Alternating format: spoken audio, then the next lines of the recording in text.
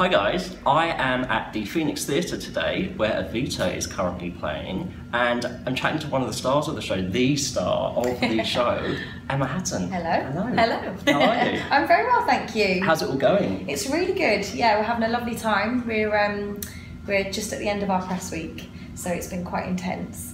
Um, but we can now just enjoy a couple of uh, weekend shows, which are always really lovely. I came to see it last night Oh, did you? um, and I don't have the best Evita track record. Okay. Um, I've seen it a few times. I saw it on Broadway with Ricky Martin, Okay. which was fine. Yeah. Um, and I've seen another production, I won't go into detail, um, and I've never been a massive fan, Okay. but last night I was blown away. Really? Um, he has to say that. no, no, do you know what? I wouldn't say it if it wasn't true. Okay, okay. Um, you were incredible. Thank you. Um, and also your Che.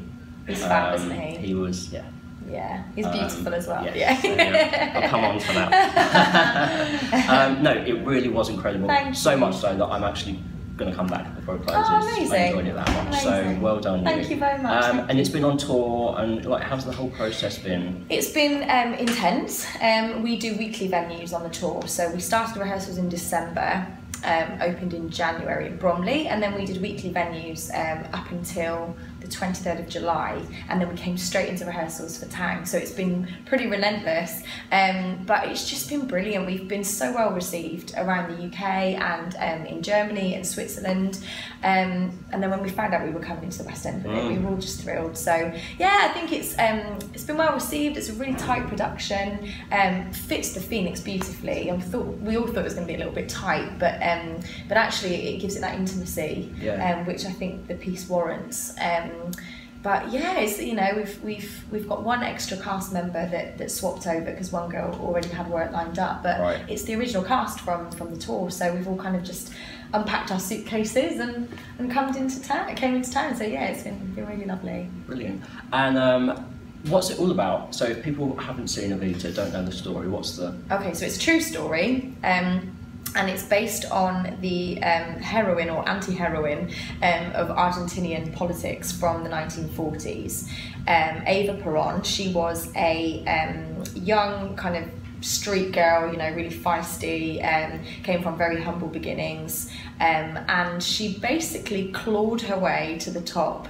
Um, very savvy, um, and and obviously it's it's written by fantastic Andrew Lloyd Webber and Tim Rice. Um, so there's some some iconic songs in there. Don't cry for me, Argentina. But but what's nice is that it, people know that song's a standalone. It was originally done as a concept album. I didn't know that. So Okay. and then it was turned into a piece. Right. Um, but it's about her political ascension.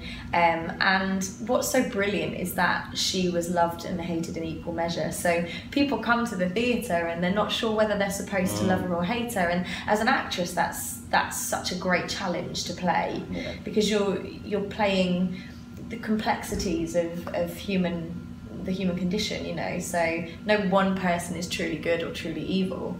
Um, so that's fascinating. It's such a great journey to go on as an actress And it's one of those shows that when you come and see it, you think, oh, I forgot this song was in it. Yeah, Like there yeah. are, there is more than just that one Absolutely. When I, because I've never seen the show, not once, um, which I'm a bit gutted about now because I would Mm. really love to see it. and I don't think I'll get to now. But um, yeah, so you, when when we first got sent the score, obviously I knew "Don't Cry for Me, Argentina" and another suitcase in another hall. Um, but then, oh, what a circus!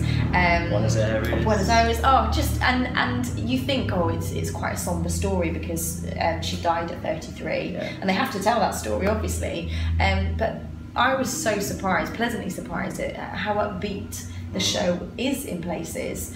Um, it's vibrant and the choreography is so dynamic, and and the band is just they're phenomenal, and it's it's just a joy to listen to that music every night. Yeah. I Yeah. thought the way the way the death is portrayed was done very kind of beautifully. Like the way that they, you know, it's where she kind of just disappears off, Yeah. and you know what's happened. Yeah, I think um, you know we can't rewrite history. She dies. I know some people are like, oh, it's quite a downbeat ending, but I think you you need that kind of the build, and then you know it's it's not it's not all somber at the end. It's actually just poignant and, and talks about how, How did she die? Was it it was ovarian cancer. right?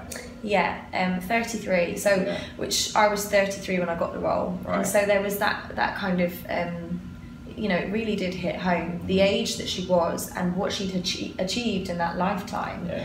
was just phenomenal. Really was. Um, and you get to do the iconic Evita. I do. do they do they teach you like is it just that simple or is there a knack to it? Um, the- I mean, I think if I'd got it wrong, they would have told me. Yeah. Um, but but obviously everybody knows the kind of the iconic pose that she does, um, and it's really empowering Mm. when you do it.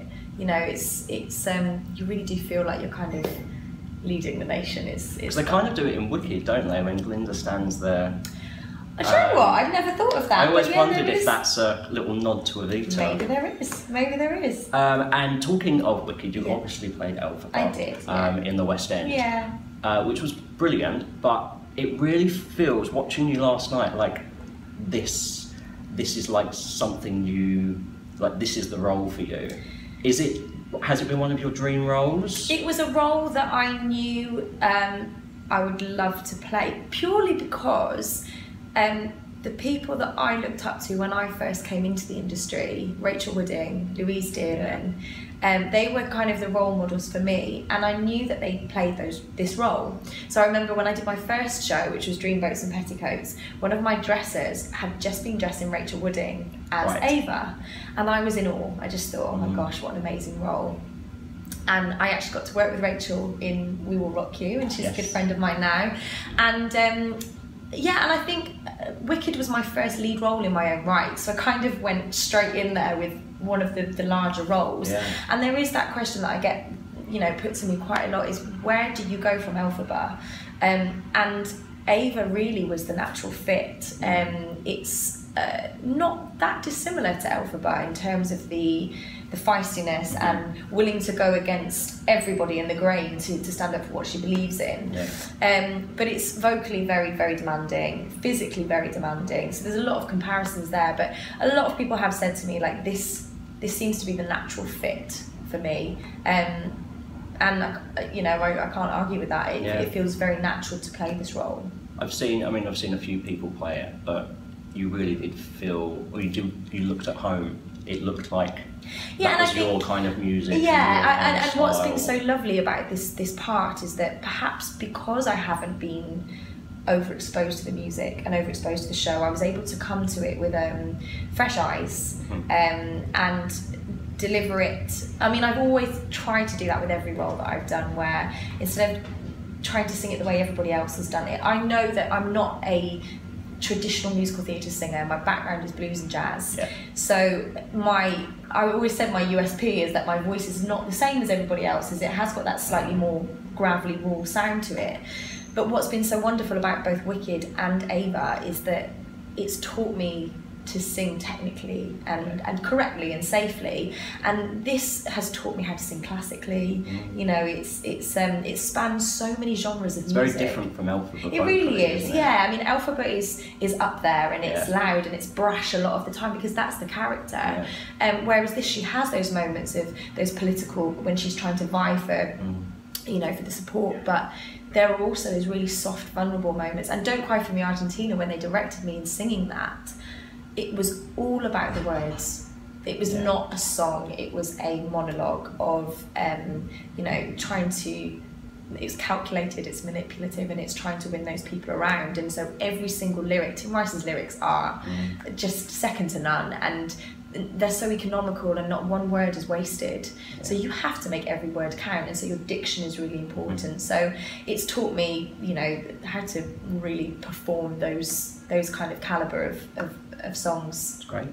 Um, now, last night was a very special night for me because I found my future husband. Um, your Che. he doesn't oh, know I see. um, what now?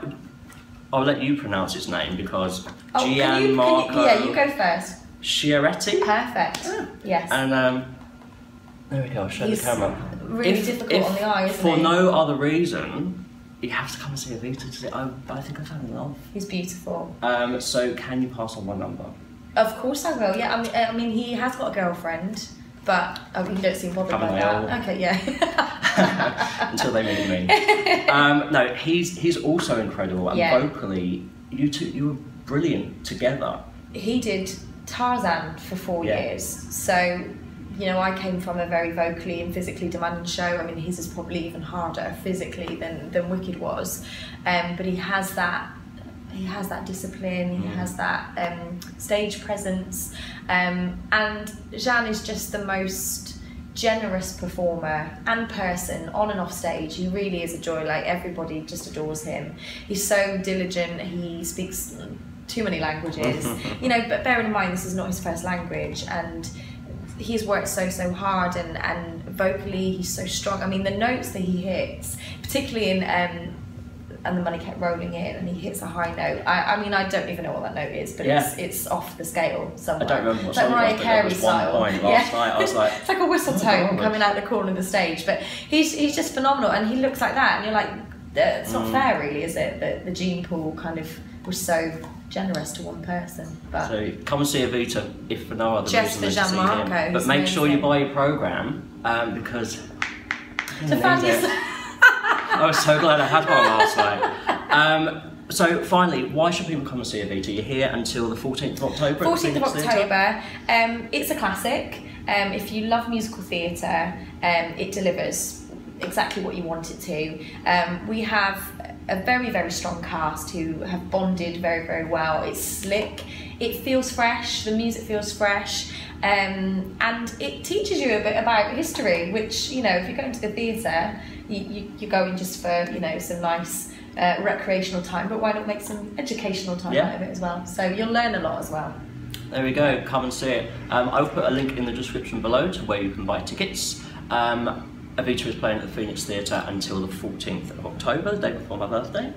So I'll remember Um, that. and uh, leave a comment for me or Emma in the comment section below. Don't forget to give this video a thumbs up and subscribe to my channel. Thank you very much. Thank you for having me. Thank see you, soon. Bye I don't know bye. who I'm saying see you soon to. Marco probably.